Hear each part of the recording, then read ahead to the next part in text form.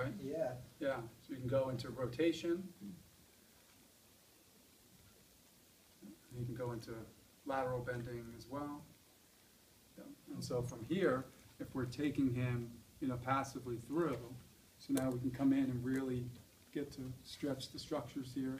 You can get into mobilize each segment of the, of the, of the rib cage. You can get into mobilizing segments of the, of the thoracic spine itself. And you can get them into positions where you're promoting thoracic extension and then mobilize. So it's nice to be able to get into, you know, different uh, angles and positions. And then you can start to couple movements. So as he starts to go into extension, he can add rotation, he can add lateral bending. So this is a nice just mobility like area where someone can come over here before they see you or after they see you, they can work on simple, simple thoracic uh, mobility exercises. it's really comfortable. Yeah, isn't it? Yeah. I'm more comfortable than doing it on my quadruped.